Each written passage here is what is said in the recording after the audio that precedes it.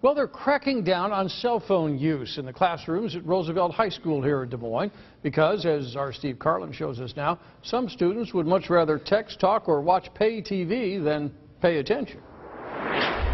They look so innocent, passing from class to class. I've seen Netflix. Um, when the World Cup was on, people were watching the World Cup. But the kids here at Des Moines Roosevelt, When their phone vibrates in their pocket, they want to check it. like the kids at every other high school across the country, It's always their parent. are pretty darn crafty. No, it's never their parent.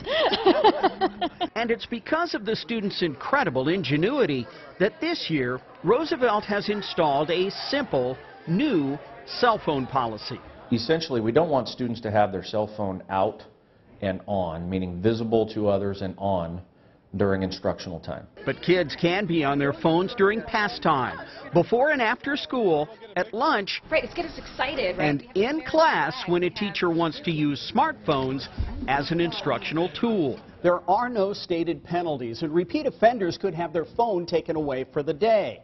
And parents could be called if problems persist. really, what's most shocking to me is how irate and angry they get when I ask them to put it away. The policy is not meant as punishment.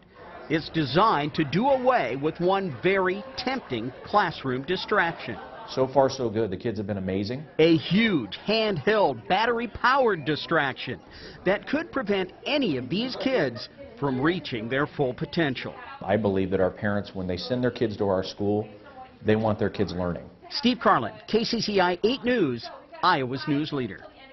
If Roosevelt parents really do need to get in touch with students, they can do it the old-fashioned way. Call the office, and they'll go and get your child out of class.